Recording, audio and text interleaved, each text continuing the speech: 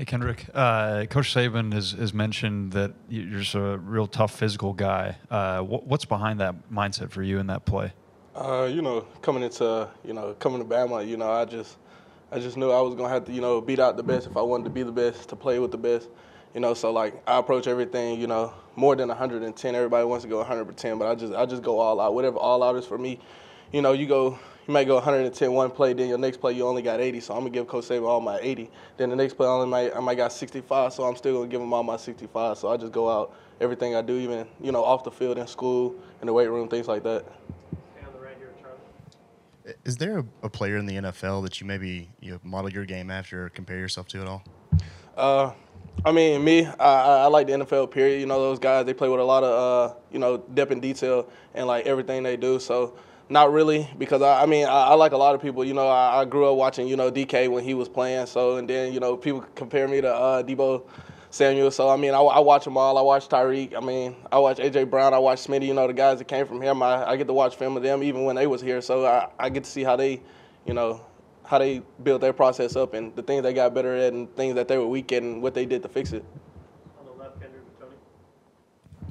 You've been lined up in a bunch of different positions. You've been getting the ball in creative ways. How difficult is that to prepare for? How much extra work does that take to prepare for throughout the week to, to kind of prepare yourself for these kind of unique situations?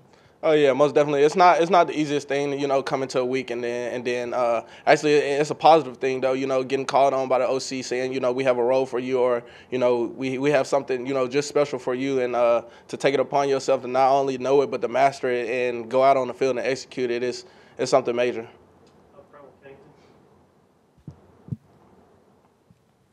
Coach Saban said you've been a really big part of, of, special teams, and now it's kind of translating into a bigger role on offense. Um, how has playing on special teams kind of helped you develop in your time here, and you know helped you develop a role on offense as well? I most definitely, you know, coming in my freshman year, you know, I played a little bit on uh, on offense, but then, you know, I, I made my, you know, my day break on special teams, you know, because that was basically my, my Super Bowl every time, you know, go out there on, on kickoff, punt, punt, return. I played all four phases, even like I do now, and it was just like, you know, I just try to translate that to the ball. You know what I'm saying? When I'm on offense, you know, go out there, catch the ball, now turn straight to a kickoff return. You know what I'm saying? Get it, see the hole. You know, make a play, and don't expect. I mean, expect for the best. You know what I'm saying?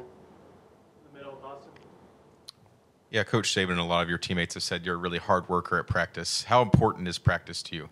Uh, practice is, is most definitely is, is the most important thing. You know, practice is what prepares for the games, and I mean, if we, we don't have practice, we wouldn't have good games, which I mean, I feel like practice is is on top of everything. So like how you practice in practice is, is going to show up on the field. When you are lined up in the backfield, how does that change things for you in terms of what you're looking for and what things you might be able to do from that spot? Uh, I mean, you know, coming out the backfield, you know, I just I just do what I usually do. You know, do read my keys. I read the play pre-snap. I, I see what coverage they're in. I see how they ID. I see what things I could do. I I mean, even you know, coming into games, we may get looks that we haven't shown in practice. So I still have to make adjustments. You know, pre-snap and during the play. So it it, it played a major part kind of two quick ones along those lines. In high school, were you similarly, you know, on special teams and then going to line up a receiver, line up in the backfield, do a little bit of everything? Yeah, most definitely. Coming out of high school, I was an athlete, so I mean, I played offense, defense, and I played everything on, you know, special teams. So you know, this this is just second nature to me. how do you embrace that?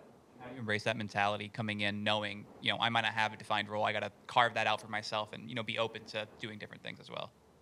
Oh, I mean, shoot, it's just you know coming in, being prepared, and you know doing what what it takes to you know not only execute what what I'm being asked to do, but the guys around me to help. Cause I might not get the ball every play, but you know what I do might affect somebody else that get the ball. It's just like if Jam gets the ball, what I do, my block may be the key block, or my route may be the key route that runs the corner out the way or pulls the safety out of the window.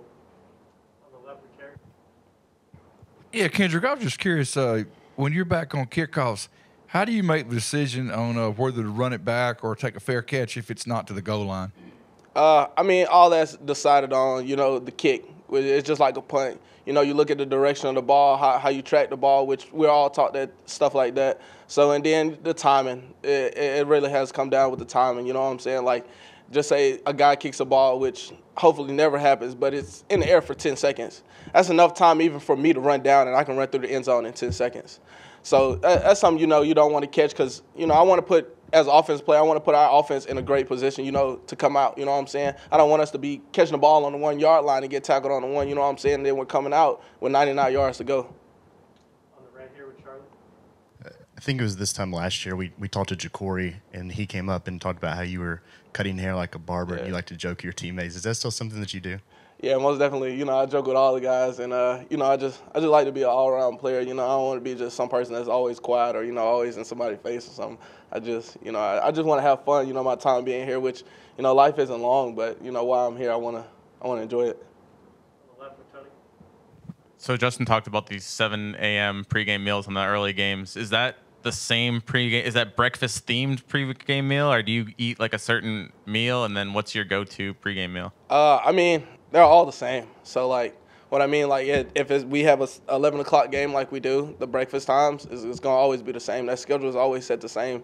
So you might as well get used to it. You know, Coach Saban's gonna get up at the same time. We're gonna get up at the same time. We're gonna get our feet down, and we got to be ready to play ball at 11 on kickoff. Stand on the left with Katie. You talked at the beginning of this that if you want to beat out the best, you're, you have to beat out the best to be the best. At a place like Alabama where there's so much depth, especially in the receiver room, is it kind of tough at times to be patient to get your to get your time on the field, or is it just part of the process of being here? I mean, it's most definitely a part of the process of being here. You know, you might come in and be the best, but you might not know what it takes to become the best. You know what I'm saying? You might have the talent, but in, in mind, you don't know the plays or anything. And then, you know, it might be vice versa. You might know the plays, but you just might not have the skill set that somebody else might have. So it's just taking it all and soaking it in and, you know, becoming, being able to adapt, you know, to Coach Saban's process and, you know, the stuff that has been built here. Appreciate y'all.